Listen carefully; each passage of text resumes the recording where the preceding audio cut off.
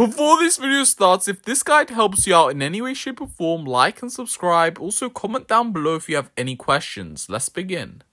Hey everyone, welcome back to the channel. Today, I'm going to be going over how you guys could go ahead and make Roblox games inside your iPad, mobile, tablet, all of that.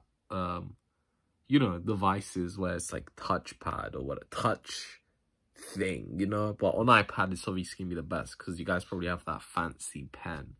You know what I'm talking about? That what was it called? I don't know what it's called. The the iPen. I don't know. Like some a random Apple name. Probably costs like ten thousand dollars. Let's be honest. But you know that.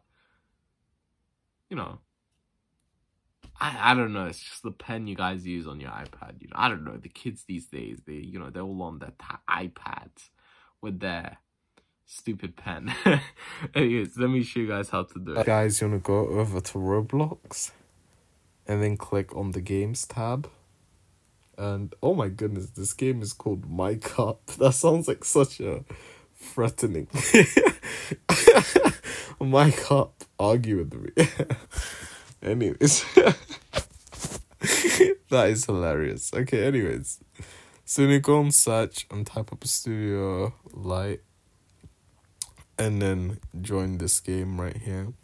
And yes, guys, I'm not joking. A game within a game that shows that that you can basically make Roblox games of inside thereof. I know, it sounds crazy. Click on Toolbox, and you could start making Roblox games. Now, let's let's let's start. So first, guys, what game are we gonna make?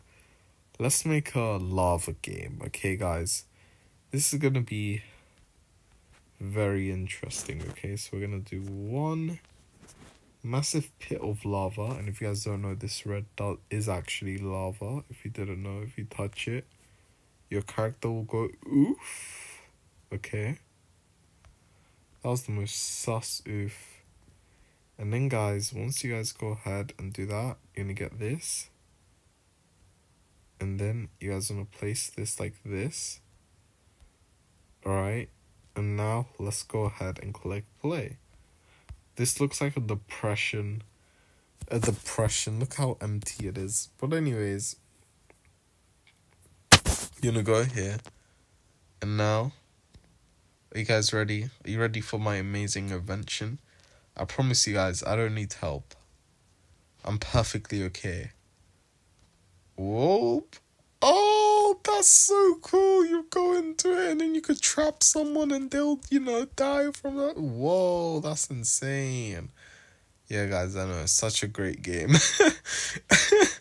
but yeah, I hope you guys have enjoyed.